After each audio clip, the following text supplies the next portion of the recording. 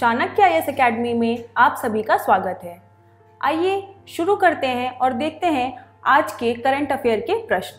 पहला प्रश्न, निम्नलिखित में से कौन सा अभियान प्रधानमंत्री द्वारा राष्ट्रीय पंचायती राज दिवस के अवसर पर शुरू किया गया? हमारा पहला ऑप्शन है विकास की ओर साझे कदम, यानी कि विकास की ओर संयुक्त कदम। दूसरा हमारा विकल्प है अतुल्य भारत अभियान 2.0 तीसरा है ओ स्मार्ट और चौथा है उड़ान 4.1 हमारे पहले प्रश्न का उत्तर है ए, विकास की ओर साझे कदम। ये इस पहल की शुरुआत प्रधानमंत्री जी ने पंचायती राज दिवस के दिन शुरू की। प्रधानमंत्री नरेंद्र मोदी ने मध्य प्रदेश के रीवा में राष्ट्रीय पंचायती राज दिवस समारोह में सभी सभाओं को और साथ ही साथ जितनी भी पंचायती राज संस्थाएँ हैं, उन सबको संबोधित किया। पंचायत स्तर पर सार्वजनिक खरीद के लिए एकत्रित ई ग्राम स्वराज और साथ ही साथ जेम पोर्टल का भी उद्घाटन किया। विकास की ओर देखे कदम अभियान का शुभ आरंभ समावेशी विकास और योजनाओं के लाभों को अंतिम छोर तक पहुँचाने के लिए केंद्रित है। स्वामित्व योजना के तहत लगभग 35 लाख स्वामित्व संपत्ति कार्ड का भी जो है कुल, जो किसान हैं, उनके बीच वितरण किया गया। ग्वालियर स्टेशन के पुनर्विकास और साथ ही साथ तीन ट्रेनों को हरी झंडी भी दिखाई गई। इन सभी की लागत कुल 23 करोड़ रुपए आई है। अगर हम बात करें, जल जीवन मिशन की पाँच परियोजनाओं का शिलान्यास हुआ और साथ ही साथ चार हज़ार से अधिक गाँवों में लगभग 9 लाख परिवार भी लाभान्वित हुए इन सारी योजनाओं के तहत। अब हम बढ़ते हैं अपने दूसरे प्रश्न की ओर। दूसरा प्रश्न कह रहा है, पूंजी स्कीम क्या है? पहला विकल्प, वैध निवेश के माध्यम से कम जोखिम के साथ उच्च प्रतिफल उत्पन्न करने का एक तरीका। दूसरा विकल्प कहता है कि सरकार द्वारा स्वीकृत निवेश अवसर जो बिना किसी जोखिम के लाभ की गारंटी देता है, उसे पॉन्जी स्कीम कहते हैं। तीसरा विकल्प कहता है कि एक प्रकार की ऐसी बचत योजना जिसमें रिटर्न उत्पन्न करने के लिए हम उच्च जोखिम उठाते हैं और साथ ही साथ जो उसके उपक्रम हैं, उनमें धन का निवेश किया जाता है। और हमारा आखिरी विकल्प है एक कपट पूर्व निवेश योजना जहाँ मौजूद निवेशकों को रिटर्न का भुगतान नए निवेशकों के फंड से किया जाता है और इसे पिरामिड योजना के स्वरूप में भी जाना जाता है। तो जो हमारे दूसरे प्रश्न का उत्तर हो जाएगा, वो हो जाएगा डी अब हम इसकी व्याख्या देखते हैं।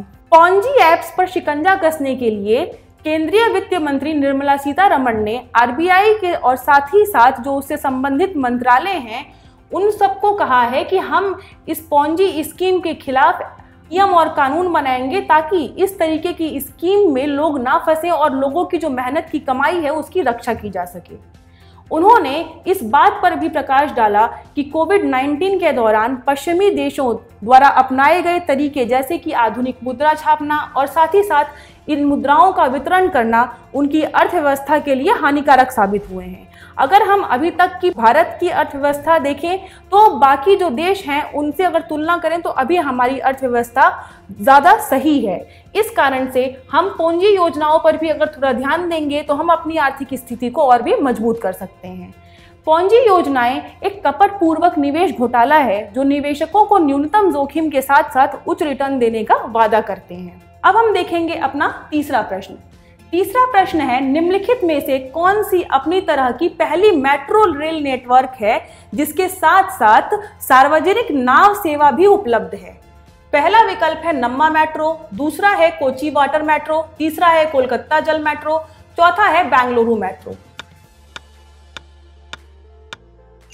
हमारे तीसरे प्रश्न का जो उत्तर है, वो है कोची वाटर मेट्रो। आइए इसकी व्याख्या देखते हैं। प्रधानमंत्री नरेंद्र मोदी ने कोची में भारत की पहली जल मेट्रो सेवा को हरी झंडी दिखाई। परियोजना का उद्देश्य है कोची के द्वीपों को मुख्य भूमि से जोड़ना और सुरक्षित किफायती और जेब के अनुकूल यात्रा विकल्प को प्रदान करना।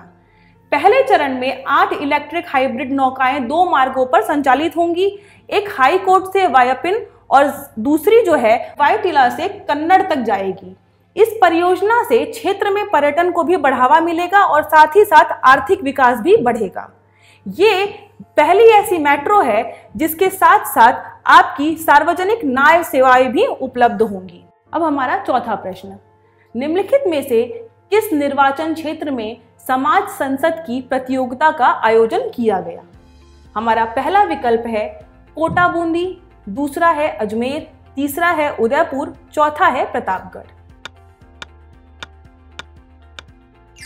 हमारे इस प्रश्न का उत्तर हो जाएगा ए, कोटा बूंदी। देखिए, समाज संसद का ये प्रतियोगिता राजस्थान के कोटा बूंदी संसदीय क्षेत्र में इसकी शुरुआत हुई थी। इस प्रतियोगिता के जो विजेता हैं, उनको 30 अप्रैल से 10 मई तक संसद आने का भी अवसर मिलेगा। इस अनूठी प्रतियोगिता की शुरुआत लोकसभा के अध्यक्ष ओम बिरला ने युवाओं के बीच लोकतांत्रिक मूल्यों और साथ ही साथ संविधानिक आदर्शों को बढ़ावा देने के उद्देश्य से की थी। ये अपनी तरह की पहली एक ऐसी जो है प्रतियोगिता है जिसका भारत में ओम बिरला जी ने युवाओं के लिए इसको बढ़ावा दिया है। इस दौर के तहत पहले चरण में कक्षा 6 से 12 तक के लगभग 500 छात्रों को दिल्ली आने के लिए चुना गया है। पांचवा प्रश्न, मणिपुर में खोंगजोम दिवस क्यों मनाया जाता है? पहला विकल्प है, मणिपुरी संस्कृति और उसकी विरासत का जश्न मनाया जाता है। दूसरा विकल्प है 1891 में जो अंग्रेज़ों और मणिपुर के लोगों में लड़ाई की गई थी, उस युद्ध की याद में हम खोजोंग दिवस मनाते हैं। तीसरा है, कटाई के बाद का जश्न और चौथा है, स्थापना दिवस मना रहे हैं। देखिए, जो खोंगजोम दिवस है, वो 1891 के जो अंग्रेज़ों और मणिपुर के लोगों के बीच में युद्ध हुआ था, उसको याद करके मनाया जाता है। इस प्रश्न का उत्तर हो जाएगा बी 23 अप्रैल को मणिपुर ने खोंगजोम युद्ध के बहादुर नायकों को सम्मान देते हुए खोंगजोम दिवस मनाया। 1886 में सूर्यचंद्र को मणिपुर की गद्दी विरासत में मिली। जिसका संधियों के माध्यम से ब्रिटिश ताज के साथ संबंध था। लेकिन यह सीधे ब्रिटिश शासन के अधीन नहीं था। जो सूरचंद्र थे, उनका विवाद था उनके छोटे भाई के साथ, जिसका नाम था कुलचंद्र और टिकेंद्र जीत कुलचंद्र और टिकेंद्र जीत ने विद्रोह कर दिया सूरचंद्र के खिलाफ। 1819 में इन विद्रोही गुटों ने सूरचंद्र को गद्दी से हटा दिया। और कुलचंद्र को राजा घोषित कर दिया। अब जब कुलचंद्र राजा बने तो ब्रिटिश का हस्तक्षेप जो है, होने लगा। अब अंग्रेज़ों ने कुलचंद्र को राजा के स्वरूप में मान्यता देने और टिकेंद्र जीत को गिरफ़्तार करने के लिए जेम्स क्विंटन को मणिपुर भेजा। 1891 में इसी कारण से मणिपुर और अंग्रेज़ों के बीच में युद्ध हुआ। पहले चरण में तो अंग्रेज़ों ने आत्मसमर्पण कर दिया था। लेकिन जो दूसरा चरण था, उसमें अंग्रेज़ जीत गए, उन्होंने कंगला किले पर कब्जा कर लिया। उसके बाद उन्होंने टिकेंद्र जीत को फांसी दे दी और कुलचंद्र और साथ ही साथ जो उनके अन्य साथी थे, उनको अंडमान द्वीप में भेज दिया। युद्ध को भारत में ब्रिटिश शासन के खिलाफ आम विद्रोह के हिस्से के रूप में देखा गया और इस युद्ध के बाद मणिपुर ब्रिटिश राज के अंतर्गत आ गया। आज इस वीडियो में इतने ही सवाल हम अपने अगले वीडियो में मिलेंगे और डेली करंट अफेयर के प्रश्नों के साथ।